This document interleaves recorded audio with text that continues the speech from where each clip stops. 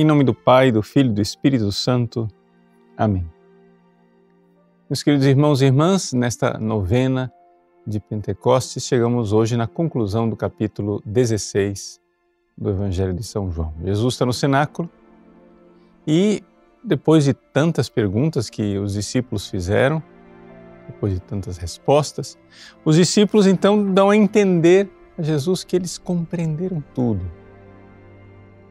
No entanto, não compreenderam o que de mais importante Jesus tinha para ensinar. Não compreenderam a paixão.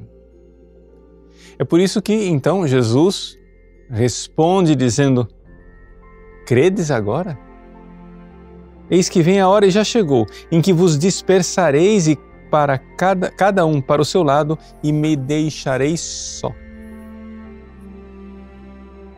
E aqui Jesus coloca uma realidade que o Evangelho de São João é, ilumina. No entanto, eu não estou só, porque o Pai está comigo.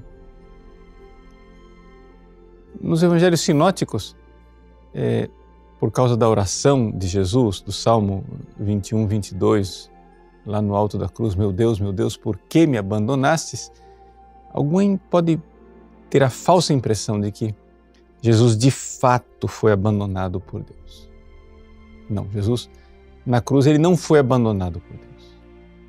Na cruz, Jesus sentiu sobre si o peso dos pecados da humanidade, peso daqueles que abandonaram Deus.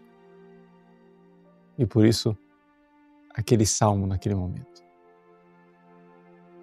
Jesus sabe, não estou só. Todos irão se dispersar, todo mundo vai embora.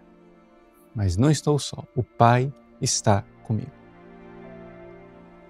E ele diz isto já antecipando aos apóstolos: Disse-vos estas coisas para que tenhais paz em mim. Essa é a primeira palavra que Jesus vai pronunciar ressuscitado.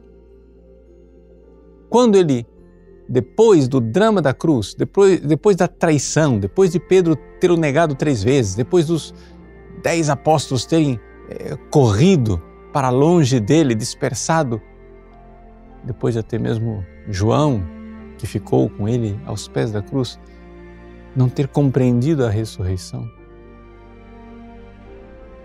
Quando Jesus aparece no cenáculo, na tarde daquele domingo de Páscoa, a primeira coisa que ele diz: paz a vós.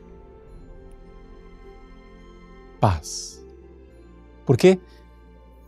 Porque eles poderiam ter a ilusão de não estar em paz com Cristo. De que Cristo voltaria e voltaria para se vingar da infidelidade deles, da incredulidade deles.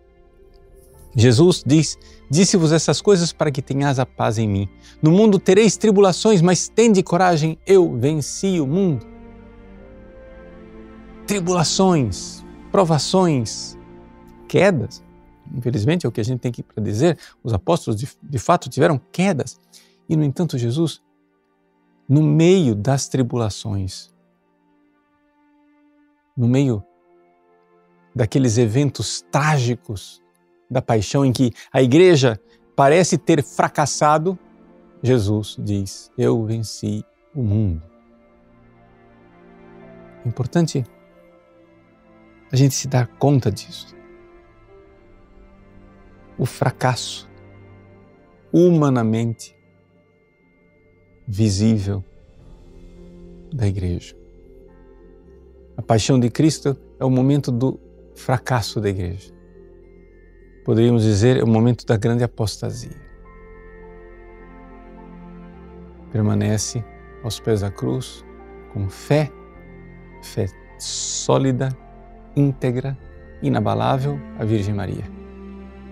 Os outros, mesmo ao pé da cruz, vão vacilando na fé. Eu venci o mundo.